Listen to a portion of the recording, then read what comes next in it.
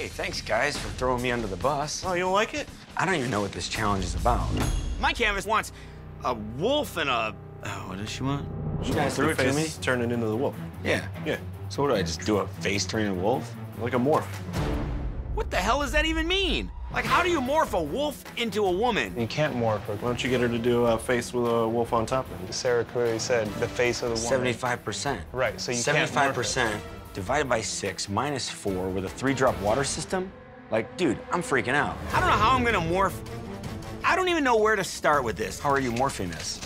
Was that one of the rules? Morphing? Maybe it's got a face of a woman and an ass of a wolf. I don't know. So back to this morphing thing. Are there like certain rules? Because I have to do a wolf. I have uh-huh. to do a face. It's more than just a wolf and a face. What surrealism is, is more dreams becoming reality. Okay. All right? It's your subconscious that's taking a problem that your conscious mind has, which then will have input from whatever that you've watched. You're using too so, many big words. I can't even talk to you right now. I don't know what I'm doing. All right, guys. Sarah Miller challenged you to tattoo a surrealistic female. You will have six hours to tattoo.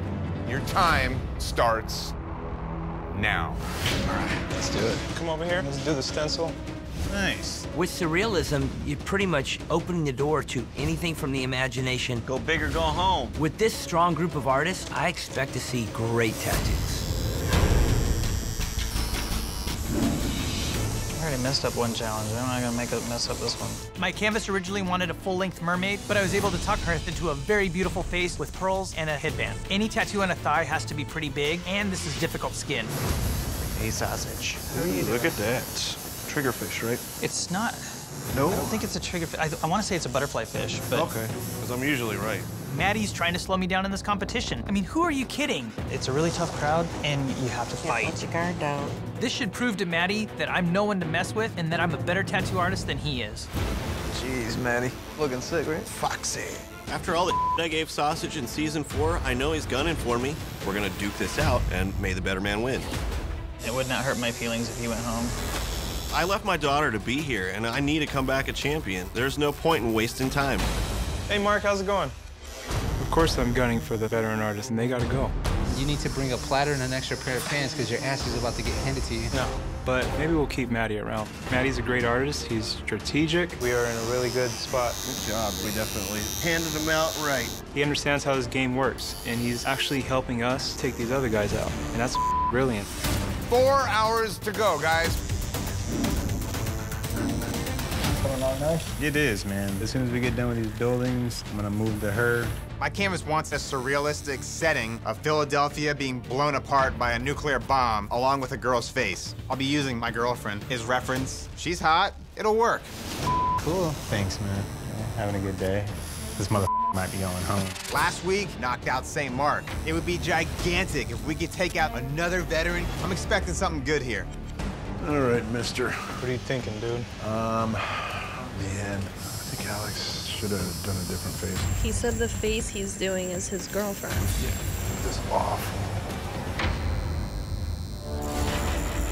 Little sci-fi action. My canvas asked for a side profile of a woman's face morphing into a galaxy. This is not something that I do a lot of. Actually, I don't do it ever. not something I'm quite familiar with, but we're coming along. I came back to show that I do have the chops to be a versatile artist and beat some of the best competitors in Ink Masters history. You have two hours remaining. Super pumped to be back. Out of everybody here, I think Megan is the only person that is really a threat in this challenge. This is what she does. I don't think anybody else understands exactly what surrealism is. I wanted to give you something interesting to do. You definitely did that. How are you? Good, how are you? I'm all right. This gets hard when you're in a bad mood. Like, my arm just killing me. Sucks, dude. I'm really at the end of my rope with this aggressive, competitive, weird strategy and bizarre flash challenges. Let me see what kind of morph business we got going on over here. This is Megan right here. Glad I wasn't in a better mood. Hanging out with Cleen is sort of my only motivation to stick around. If this wasn't my style of tattooing today, I'd probably already have left. How do you feel about it? Super cool. Big. I'm definitely concerned about Megan. I don't want her emotions clouding her judgment and stopping us from doing what we need to do. I'm really hoping that Cleen goes home today. It'll take away that distraction from Megan and bring her back into the fold. The last thing you want to do is be uncomfortable here. Really working that texture there, huh? Uh, I figure it's a wolf, you know? I think Sarah Miller picked surrealism because it's crazy, and so is she. Oh, we got a long way to go still. Oh my god. Mad dog on a leash. I'm not even going for the win right now. I'm just trying not to mess up because I don't want to go home over this tattoo. Five, four, three, two, one. That is it. Time's up. Machines down. No more ink. Take a look, man. That's awesome, man. She's gorgeous. Good? Uh, definitely good. Oh my god. I love it. Cleen's, it's flat, it's unappealing, it's so ugly. This is the worst tattoo I've ever seen on Ink Master. Killed it. Yes. Mm-hmm.